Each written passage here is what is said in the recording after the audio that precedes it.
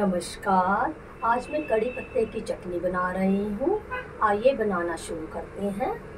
एक कटोरी मैंने कड़ी पत्ता लिया है। कड़ी पत्ते को मैंने धो लिया है। धोकर मैंने एक कॉटन के कपड़े से पोंछ लिया है। कड़ी पत्ते को मैंने धो लिया है। धोकर मैंने कॉटन के कपड़े से इसे पोंछ लिया है। आइए बनाना शुरू करते हैं। गैस ऑन करते हैं।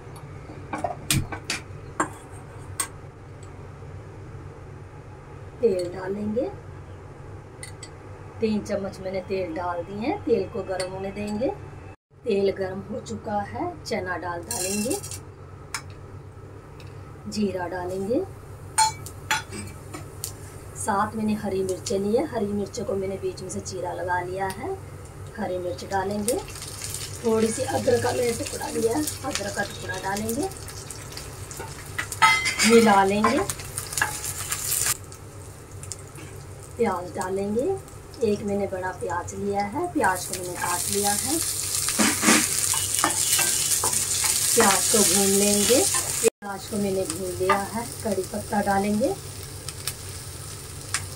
मिलाएँगे।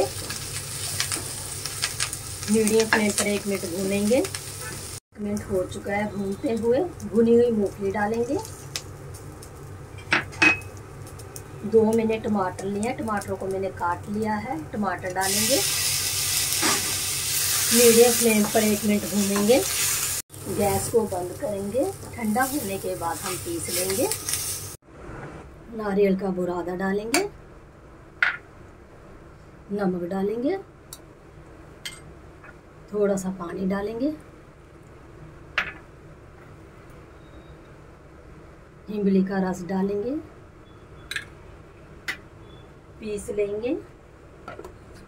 चटनी को पीस लिया है, आइए बनाना शुरू करते हैं।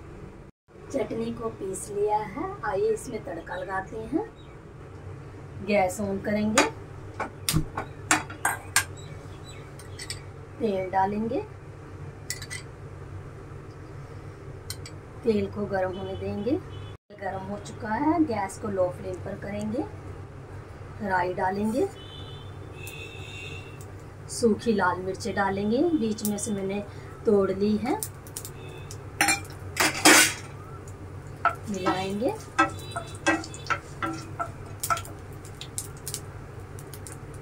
चटनी डालेंगे। पीसी हुई चटनी का थोड़ा सा मैंने पानी डालकर गोल बना लिया है। घूल को डालेंगे। गैस को मीडियम फ्लेम पर करेंगे। मिलाएँगे अच्छी तरह। मीडियम फ्लेम पर एक मिनट भूनेंगे चलाते हुए। एक मिनट हो चुका है हमें लगातार चलाते हुए। गैस को बंद करेंगे। आपको प्लेटिंग कर कर दिखाते हैं।